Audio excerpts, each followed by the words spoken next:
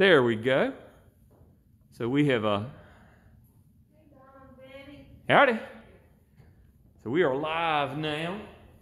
Um, the uh, we're yeah. I'm, I'm, gonna try the new uh, new one. Last uh, the lamppost um, had its chance, but uh, we're gonna we're gonna try the new slim down model, and uh, hopefully it will work. We will uh, we'll kind of wait and see on that. Um, but Lord willing, it'll be okay, and um, we'll be able to have good have good results from it. I'm crossing my fingers. I, I do have something. We are going to be using this. I've got something coming from Amazon that will hold the camera or hold the uh, cell phone a little better, and uh, with that, it'll cross fingers. Um, we'll do we'll do okay with it. So.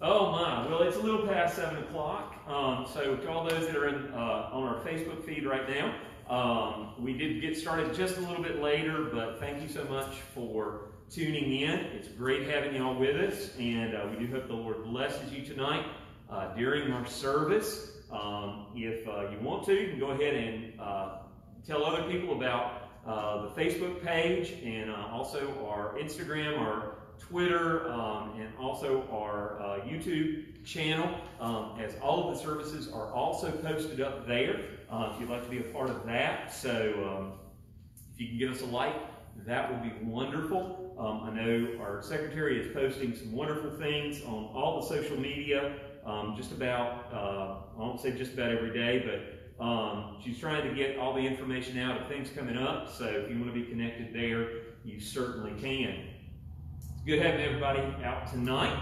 And uh, we've got a we've got an odd evening before us. It's getting dark outside, and uh, lo and behold, we might have rain. But what a blessing it is to uh, have cooler temperatures and don't have to worry about sweating.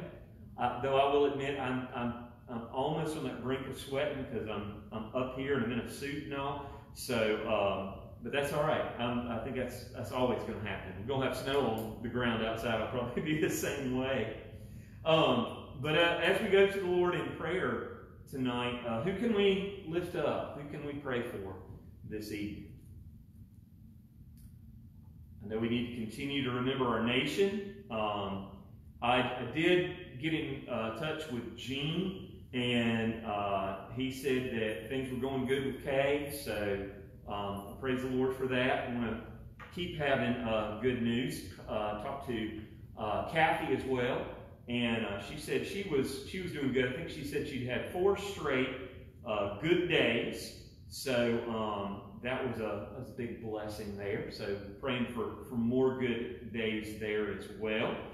And uh, so that's, one of the things. I think I'd also seen on the news that uh, our COVID cases have kind of gotten to where um, the state wanted them to be. So um, we're going to see if that, that holds true. So uh, hopefully um, some good things will be in the, in the works for the next uh, couple of weeks. Um, please remember all of those that have been affected by this latest hurricane uh, as it had slowed down, and I know a lot of devastation had come there. So please remember them uh, in your prayers. Um, haven't heard anything from Allison's family. I think they were a little bit out of the way of this one, so praying that um, things would be all right there. Um, Allison did get to talk to her brother in Norway uh, today. He had given a call, and uh, things thankfully are going well there. Uh, in the hospital, uh, he said he does wear a mask, but thankfully things have gotten a good amount better uh, there, so we're, we're very grateful for that. Um, so, good news, good uh, good things to be happy about all around. Um, any anyone else? Anything else we can pray for this evening? Well, let's go before the Lord tonight, remembering these that have been mentioned as well as those that are on our hearts. Father God, Lord, we uh, we come before you tonight, giving you thanks and praise for your many blessings, your guidance and direction in in our life. And Lord, as we have so many things happening in our country and, and at home, we want to lift them up to you now to take control of our nation and our land, that you would be glorified, that you would, you would work in a mighty way. Um, that our nation would come together to be healed and to get through this pandemic that we are in. We pray that you would help us through this political season. Um, Father, help our, our hearts to be calm.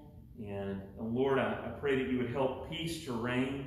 Uh, for the many, many that are affected now by the hurricane that has just hit on the Gulf Coast, we pray for safety and help for all those that are involved there, especially the, the first responders that are going and, and uh, going and rescuing others. We pray that the efforts to rebuild and to do well uh, in, in bringing everything back to normal would go quickly um, and that, that this would be a, a, process that would just swiftly happen. Uh, Father, we, we thank you for the good news. Um, and Lord, we, we want to lift up the many that are on our hearts that are sick and upon the beds of affliction, those that are in need of your healing touch and also of strength. We pray that you would guide and direct us only you can. Father, we, we lift all these things into your hands. We pray that you guide and direct our thoughts tonight as we study your word once again. For it's in your precious and holy name we pray. Amen. Well, if you have your Bibles, go ahead and be turning back to Ephesians chapter 6.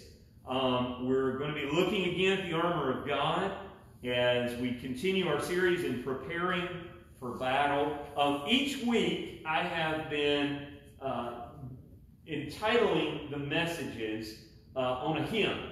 And uh, this week is no different. I have entitled the message, The Solid Rock. And the reason why is it connects so well to what we are talking about, the breastplate of righteousness.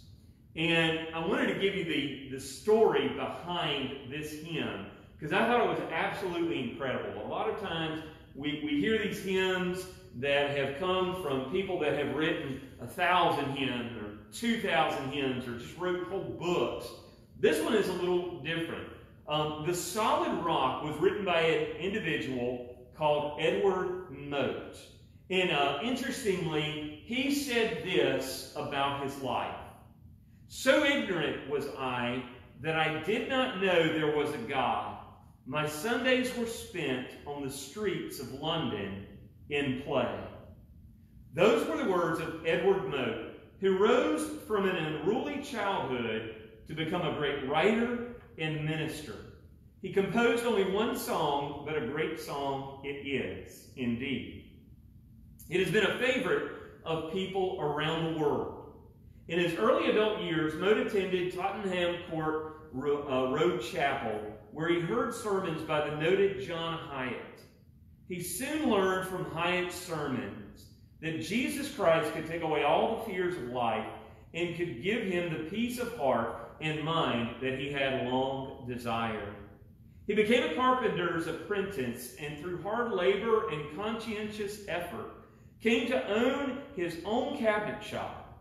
One day, while walking to his work, he began thinking that he should write a hymn before he reached his shop, he had the chorus On Christ the solid rock I stand, all other ground is sinking sand. Before the day ended, he had four stanzas.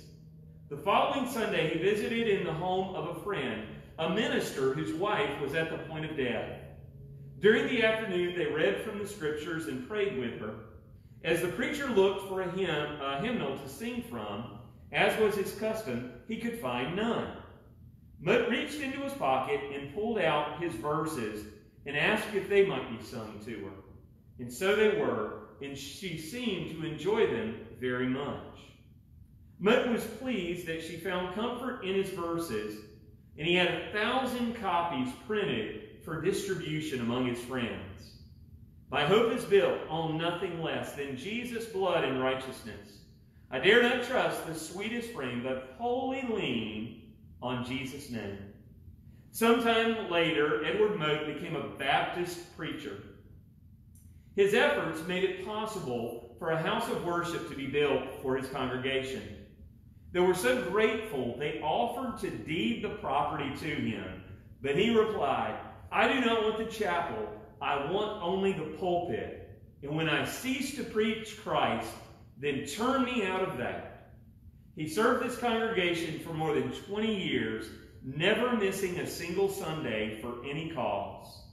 In his 77th year, as he lay on his bed of sickness, he replied, I think I'm going to heaven. Yes, I am nearing port.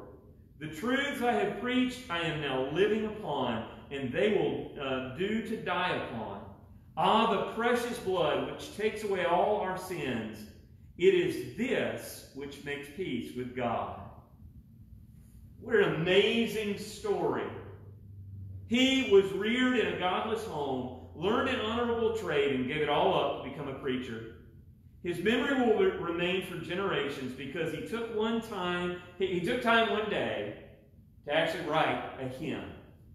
And that is actually in your, your notes. My hope is built on nothing less than Jesus' blood and righteousness. I dare not trust the sweetest frame, but wholly lean on Jesus' name. When darkness veils his lovely face, I rest on his unchanging grace. In every high and stormy gale, my anchor holds within the veil. His oath, his covenant, his blood support me in the whelming flood. When all around my soul gives way, he then is all my hope and stay. When he shall come with trumpet sound, oh, may I then in him be found. Mark this one line. Dressed in his righteousness alone, faultless to stand before the throne. On Christ the solid rock I stand. All other ground is sinking sand. All other ground is sinking sand. That's an amazing thing to think about. He wrote one song, and I bet this one song is in every single one of the hymnals I have in my office. But it's such a powerful song. And it talks a lot about the righteousness of Christ. And that's what we're talking about, because we're talking about the breastplate of righteousness. So that's the second piece we're going to be looking at. We, we've looked at two things. We've looked at the idea that we are in spiritual warfare. Each and every day, there's a battle that goes on within our hearts and within our lives. There's a battle that goes on within us and outside of us in the spiritual realm. The devil tries to tempt us. The world is out there. Everything that is sinful is out in the world today, and we're in a battle. Therefore, we need what God has supplied, and God has supplied us some great things in the armor of God. And the first thing we saw was the belt of sincerity, the belt of truth. That first and foremost, we have to have a heart that is committed to the glory of God. And that is the first thing. We have to be sincere in our heart. And if we have that sincerity, if we are ready, if we truly are children of God, then we can go forward and begin putting that armor on. And the very first piece is the breastplate of righteousness. Just real quick, I want to look at, make three observations. Let's look at three things. Just like we did last week about this breastplate of righteousness. The first one is the breastplate itself. In Roman times, the breastplate was, was made of bronze. It went from the neck here down to the navel. And it had a very specific purpose. It was to guard the shoulder of the soldier against any type of an attack that would come his way. If it was a sword thrust, it would protect him. If it was a spear that was being thrust at him, it would protect. A javelin that had been thrown, it would protect. Or an arrow that had been shot. Because here, between the neck and the navel, are all the vital organs. You have the lungs, you have the heart, you have the stomach, the kidney, the liver, everything that we need that is so vital to life. And what this breastplate did, was it protected those vital organs. So that is the idea of the breastplate. You can, you can get the idea of a soldier wearing this, of how essential a breastplate actually is. But what is this other part? The other part, beyond the breastplate, is righteousness. Number two is righteousness. The Apostle Paul says that the Christian's breastplate is righteousness. Righteousness is defined as moral and spiritual uprightness, such as it is seen in the character of God. And of course, the question that we always have is, what in the world is righteousness? You know, what in the world is, is righteousness? Uh, Jerry Falwell at uh, Liberty University, when, when Allison and I were there, would, um, would always talk in, in Sunday school or um, in Sunday morning service at Thomas Road Baptist Church. Um, he would give uh, this one speech about how he learned how to tithe. And he said, when I was growing up, I was in church, and I would always, uh, I was always look, and I would see these envelopes. And he finally asked somebody, he said, "What does tither mean? What does it mean to be a tither?" And the guy was like, "I don't know what that word means." And he's like, "Spell it for me." Spelled it. Oh, it means tithing. I think righteousness is one of these words that we go in and we're like, I hear it, and I, I, I, talk about it a lot, but you know, what does it mean? How many of y'all ever had that with any of the words that you've ever read or, or seen or heard a preacher talk about? And you're like, I don't know what that word means. I've had words I've said that I probably don't know the complete meaning of.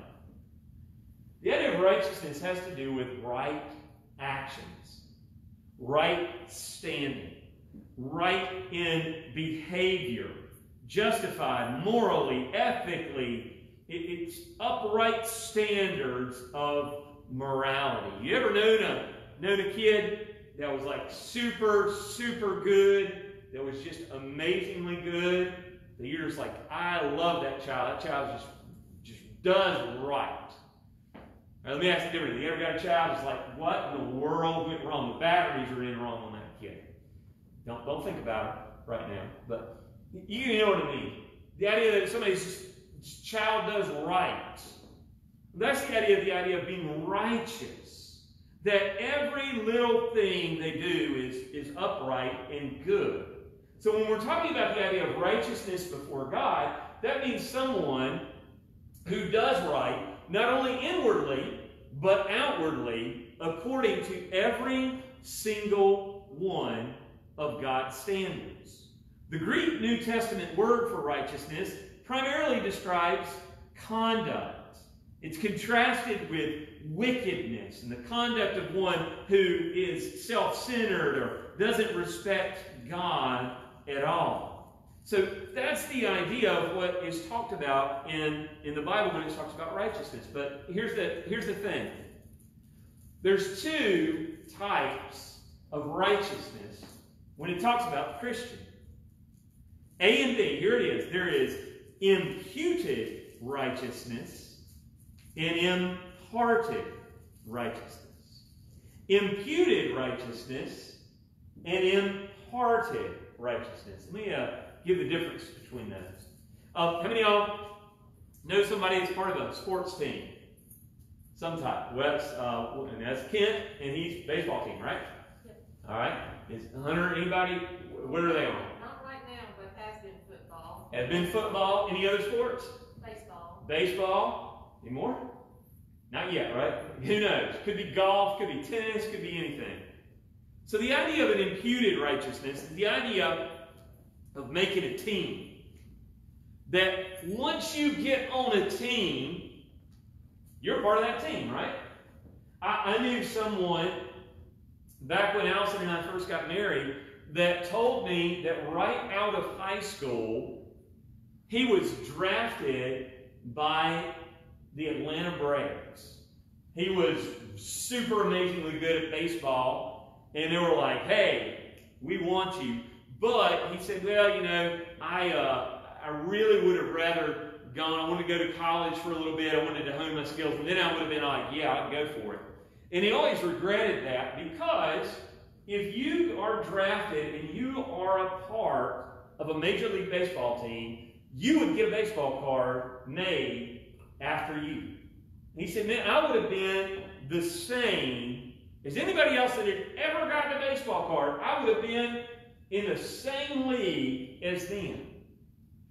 The idea of imputed righteousness is the idea that when we come to Christ, we take all of our bad stuff, all of the times that we have ever failed. Raise your hand if you've ever failed at something done wrong at something, anything like that. You know, we've all done that. And the idea of all of those wrong things, and Jesus Christ has done all the right things. The idea of getting Christ's righteousness is at salvation, God says, All right, yes, you have not done right, but Christ has done right. Therefore, what I'm going to do is I'm going to take all of the righteous living, all of the righteousness of Jesus Christ, and I'm going to wrap you in it. I'm going to impart it to you. I'm going to impute, fancy word, which means to give. I'm going to put all of those things, and it's not going to be your unrighteousness anymore that I'm seeing. I'm going to see the righteousness of Jesus Christ. Just as if you were a part of the team, it meant 100% you were on that team. Baseball card, you're in the major leagues. Here it is. That's the idea of Christ. He comes and surrounds us, and when God looks at us, He does not see our unrighteous sinfulness, He sees Christ's righteousness. But you know, there's a second part of this too. That's the imputed. But what about the imparted righteousness? The imparted righteousness. Here's the second part. So, did, did any of the uh, did anybody when they were when they were part of the team did any of them have to do anything special have to act a certain way, do anything special in that respect? What was what was some of the stuff? Uh, the coach doesn't like them to have really long hair, so they had to make sure they had shorter haircuts. You get a haircut every once in a while, right? Anything else? Any other special ones? Any special diets or? No, I mentioned that the shirts always have to be tucked in when they're on the field. Oh, there we go. Tucked in. Uniform has to look a certain way. And uh, with shoes have to be tied and Have to be a certain it be certain certain color. Certain material. They, okay. It'd be all, all those all those different things. Anything anything else that you know? I know um, I know I've heard uh, some stories with Coach Schreiner about you know some of his workouts that uh, he he brought the kids through that were uh, somewhat legendary. So here it is. When you get on the team, you're 100% a part of the team, but there's expectations that are there, right? Things you got to do. Because you're a part of the team, not because of anything else other than the fact that you're part of that team. The righteousness of Jesus Christ places us within the family of God. The imparted righteousness is the Holy Spirit of God is given to us that we, in fact, might live for Christ. Romans 3 and verse 10. All have sinned and fall short of the glory of God. Um, you know what? I'm going to do this. I'm going to, I'm to skip ahead here. All those verses have to deal with all of these things. Have to deal with the idea of righteousness and all of those things um, that are in there. That Ephesians chapter 4, I'm going to have to skip down. Put away um, as concerning your former way of life the old man, and put on the new man, who is the likeness of God and has been created in righteousness and holiness of truth. Romans 6, verses 11 and through 13. Thus also consider yourselves to be dead to sin, but alive to God in Christ Jesus our Lord. Therefore, don't let sin reign in your mortal body, that you should obey it in its lust. Neither present your members to sin as instruments of unrighteousness. but present yourselves to God as alive from the dead, and your members as instruments of righteousness to God. Philippians 1 verse 11, being filled with the fruits of righteousness, which are through Jesus Christ, to the glory and praise of God. So the idea is, when we have the righteousness of Jesus Christ, God looks at us and says, you are righteous. Not because of what you've done, but because of what Jesus did. But all of that comes with a purpose. That we should, as we've read and, and looked at in Galatians, I'm crucified with Christ. Nevertheless, I, I don't live, but Christ lives within me. It's the idea that we'll see in, in Galatians chapter 5 that we live by the Holy Spirit of God. We have all of these things. Just as a child might get onto a, a, a sports team, they got a little bit of a change to do then because they're a part of it. They've got little little standards they have to meet. Um, I know that for any of the wrestlers, they have to watch their weight. Because they might be in like this one weight category, but they might be like two pounds from this other one. Coach is like, look, I want you to, I want you to stay in this weight category. So, you know, don't get the third double cheeseburger, just get two. It's the idea of saying, hey, there's a purpose for what you're doing right now. There's a calling upon your life. So here's the thing. That's the idea of righteousness. We have the idea of what a breastplate actually is. So what does it mean to have the breastplate of righteousness? Let's consider how imputed and imparted righteousness corresponds to a breastplate in our spiritual life. Number three, obviously, is the breastplate of righteousness. See, here's the thing. In spiritual warfare in which we live, if the devil's going to get a, a foothold on our life, if the devil is going to go after us, if the devil is going to win, or we're going to have sin in our back end, he's got to get a foothold somehow. He's got to get into our life to kind of mess things up. And there will be many, many darts, many different ways he is going to try to do that. But righteousness, both imputed and imparted, can guard and or protect our hearts from Satan's attack. See, one of the one of the big ways we stumble. Uh, what? Let's let's go back and, and do a little Bible trivia. What comes before a fall? Pride. Pride. I can do it myself. Uh, usually, these are the words you hear before you go to the ER. I'm fine. I don't need any help. Have you ever heard those before? Up on a ladder, you know, doing something, and it's like, I don't, I don't need any help or anything like that. If the devil can get us to think that way, oh, oh, that's that's just not gonna, it's not good. If we can, if he can get the idea of pride within us, oh, I'm all right. I can handle handle all this stuff. Oh, uh, let's go this way too. What, what kind of things do we face spiritually? What kind of battles do we face on a regular basis when it comes to our spiritual life? What kind of things do we deal with? Doubt and fear.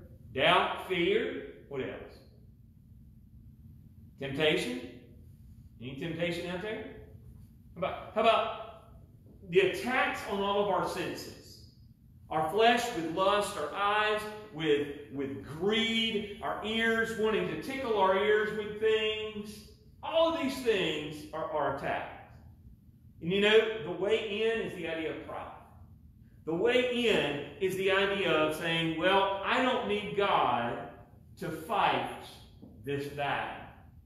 I don't need God because I am strong enough. And that's a horrible place to be. Because how many of y'all know, without God, you're going to fail at something? I can name plenty of mine. The chip aisle at the grocery store. Now that, that's my. I was telling Stephanie that today. I don't know what we were talking about, but we got onto the we got on potato chips, and I'll tell you what. I know this for a fact. That is like my weakness, and I I have to stay away from it. You know the way in which I conquer that battle, so I don't eat like a family-sized bag of Doritos twice the, the way I, I make sure I don't do that is I don't get around them. I'm like, nope. You know, I can do all things through Christ, like leaving these things away and not getting close to them. That's the idea. When the devil comes and gives you that idea of, ah, you don't need that. Which, if you want an easy way to think about that, how, how foolish would it be if we go all the way back into Paul's day and you go up and you see a Roman soldier and a Roman soldier says, Ah, I don't need this breastplate. I'm going into battle and just rips it off. He's got all these muscles and he's got his sword, and he's got his shield, and I don't need that. What would you say to him? You know, you thought measuring him for a coffin, wouldn't you? How high are you? Do you have a burial plot anywhere? Because what's a sword going to do to somebody without armor? It's going to go through that muscle real quick, isn't it? Yet, how often do we do the exact same thing? Oh, God, I don't need to worry about what you want me to do. I'm all right. I'm strong. Let me put it in a different sense. Let's put it in a contemporary sense. In a contemporary manner, rather than a breastplate, what, what's something contemporarily that people wear here for protection?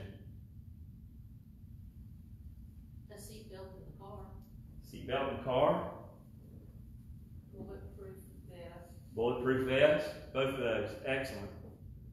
Because they protect you against things that no matter how fit you are or how good you are, you're not going to survive.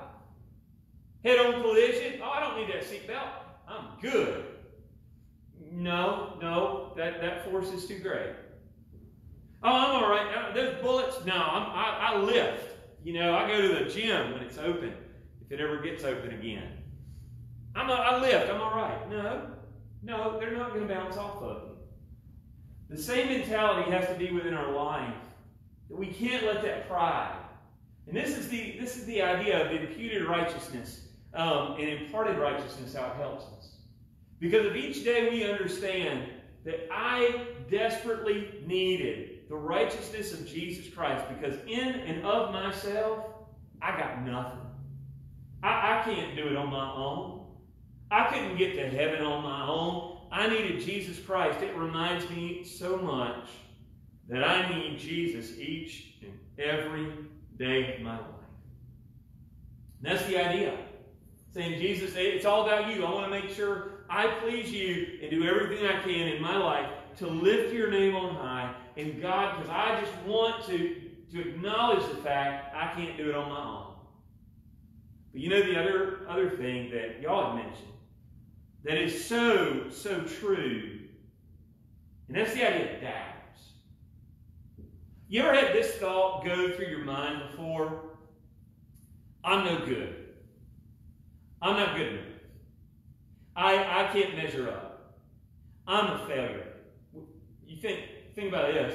Think about how many people that are out in our world today think that or have heard that. That's a lot. That's one of the fiery darts of the devil. You're no good. You're never going to be any good. You might as well not try to be good. God's never going to accept you. God's never going to think good of you. You might as well not even give him any credence whatsoever. Just forget about God and go live your life in the old way. Those are fiery darts that the devil throws, and the devil throws them constantly. But here's the breastplate of righteousness. That when we put it on, we understand two amazing things. Number one, God does accept us. That He loves us with an everlasting love, so much that He sent His Son, Jesus Christ, to die on the cross for our sins that he would live that perfect life that we couldn't live, that he died and was buried and rose again, that when we accept him by faith, it is not my failures that God sees, but rather the righteousness of Jesus Christ. And every single day I can get up and I can know, yes, I have my failures, but you know what? God doesn't see my failures, he sees my future. That's an amazing thing. That's something that when the devil starts throwing a dart, going, No, God doesn't love you, you can say, I've got the righteousness of Jesus Christ. He loves me with an everlasting love. See, it, it does that. It goes and it, it kills that whole doubt. But it also makes us stand firm in the life that we're living. Because it makes us remember that we can actually live the life that God has called us to live that we can live in victory for Jesus Christ. That we can live in such a manner that is pleasing to God, not because of our own strength, but because of the strength of God. Just a few scriptures. I'm going to skip around and then I'm going to be done. Romans 8. Therefore, there is now no condemnation for those who are in Christ Jesus. What shall we say to those things if God is for us, who can be against us? He who did not spare his own son, but delivered him over for us all, how will not also uh, he not also with him freely give us all things? Who will bring a charge against God's elect? God is the one who justifies. Who is the one who condemns? Christ Jesus is he who died, yes, rather who was raised, who is at the right hand of God, who also intercedes for us. Paul wrote down and said, Look, you got Christ. The breastplate of righteousness is right on you. Don't worry about anything the devil might say because it doesn't stick to you. Because when God looks at you, he does not look at your failures, he looks at Christ's righteousness. So, what do we do in all of this? We make sure that we fill ourselves, that we fill our hearts with what is good and what is right and what is righteous. Psalm 119, uh, one of the latter verses right there. Actually, I want to let me go to Proverbs 4:23 real quick. It says, "Watch out over your heart with all diligence, for from it flow the springs of life." We have to watch ourselves. We got to make sure that within our hearts and within our lives there are good things. That means we've got to weed the garden. How many of you ever weeded a garden before? You know, like, woo, I like weeding a garden. Never like weeding. But what happens when you weed a garden? When it's really well done? What happens? Well, it looks good. You can see your vegetables. It looks good and you see, you see vegetables. Does it help the vegetables? Sure. Because it's not like all the other stuff is not sucking the water from them. It can grow better, right? And you also, once you weed everything, it's less likely that more weeds will come. Now, weeds are going to come, but it's a whole lot easier because you don't have the other ones that are there. That's what the scriptures compel us to do. Psalm 119 and verse 11. Your word have I what version do y'all have? What, what, what do y'all say from that? Your word, thy word have I blank in my heart that I might not sin against them. There's a lot of different translations, and all of them are really good. Your word have I hidden in my heart. Your word have I treasured in my heart. Your word, I love your word have I treasured in my heart. Because when we treasure something, we put it in a great place. We, we look at it. We, um, we cherish it in so many different ways. You know, it's one of the things we need to do. We need to cherish God's Word. But here, here's where I want to kind of end tonight. So much information, but I'm just going to end on one little verse. Philippians 4 and verse 8, it's in your notes there. Philippians 4 8, it says, Finally, brothers, Whatever is true, whatever is honorable, whatever is just, whatever is pure, whatever is lovely, whatever is commendable, if there is any excellence, if there's anything worthy of praise, think about these things. It's a great little passage. And the idea of what Paul is getting at here is he's saying, all right, look, I want to make sure that you stay on target for, for what you're doing in your life to make sure the breastplate of righteousness stays on. One of the things is weeding out the bad things in your life, but also making sure the good things are all there. What does he say? He says, put all of these good things in there. These are the blanks here. The first one is true. Whatever is true, whatever is right, whatever is good, it must agree with the truths revealed in the Scriptures to be consistent with the teachings of Christ. If it's not, we've got to reject it and say, wait a minute, hold on, that's going to lead me down the wrong pathway. We've got to keep the things that are true. Beyond that, honorable. Honorable. The, the word combines the meaning of the sense of, of gravity and dignity. It's treating serious matters seriously. It's not taking lightly or treating lightly things, um, not treating things lightly that are very important. You know, I, when Allison and I We're going to have grace. We, we have long, long talks about, okay, we're going to have a child. What do we want this child to look like? What, what values do we want to instill? What do we hope for our child? Because we knew that the, one of the most important things we will ever do in our life is raise our child. We kept it important. You know what? The idea of honorable is keeping important things important. Whatever is just, whatever is just and fair, not, respect, not respecting um, the rights and feelings of others, but rather are just. It's not, um, if it's unfair or demeaning to others, it ought not be in our heads and our hearts. Pure, morally upright, lovely, number five, things that serve to cultivate and increase love and goodwill between people. Number six, commendable. Things that tend to get and establish a good name and make us well spoken of. Number seven, excellent. Anything that promotes the general good and well being of society and finally worthy of praise. Anything that God Himself would applaud or reward. That's the idea here of this whole passage. That it, the idea of, of making sure in our home, in our own life, we're saying, okay, I'm weeding the garden of my life. I'm going to be thinking about those things that are good and those things that are right and those things that are just, and I'm going to fill my life with those so the other things don't have any power. Yes, the interesting thought when we're talking about armor. When we have armor, you know, usually we're not, not scared of a lot of the things that are out there. We're not really scared about everything else that can come our way. All because we have the armor.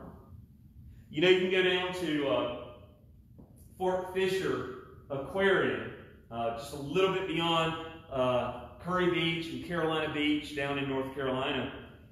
And you can actually go and they have tank, uh, the huge tank, where there are actually sharks.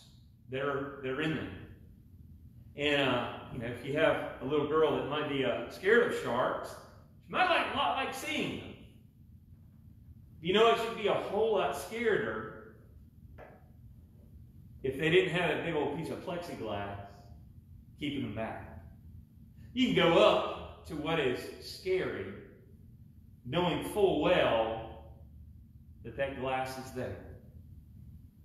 When we're thinking about the idea of the armor of God, that's why we put it on. Because out in this world, there are a lot of scary things. There's a lot of things that aim and target us. But you know what? When we're out and about, when we're going around and we're saying, you know what? It's not my righteousness but it's Christ's righteousness. And the fiery darts of the devil, the arrows that are shot our way, that try to demean us and try to bring us down, we have to remember when we look back and we go, wait a minute here, hold on. It's not about me, it's about Him.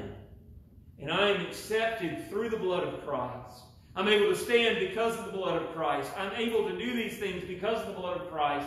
And the Holy Spirit empowers me to live the life that I live. My encouragement for each and every one of us here today is to remember that. To remember the blood of Christ that covers us, that gives us that righteousness, that right standing. That when we're able to come before anything we face out in life that says, oh, you're not good enough, or oh, hey, you've got enough strength, we can go, nope, nope, nope, nope, look. It's not about me. It's about Jesus. It's about Him living through me. Questions, comments, observations? Let's bow in a word of prayer. Father God, thank you again for this night. Thank you for the opportunity we've had to, to be together, to laugh a little, to learn, and to look to you. I pray now that as we leave this place, you would be glorified that you would be magnified. Father, I pray that you would give us safety in our journeys, that we might come back again to worship you. For it's in your name we pray. Amen. To all those that were watching on Facebook, thank you so much. We hope the Lord bless you through our service here tonight.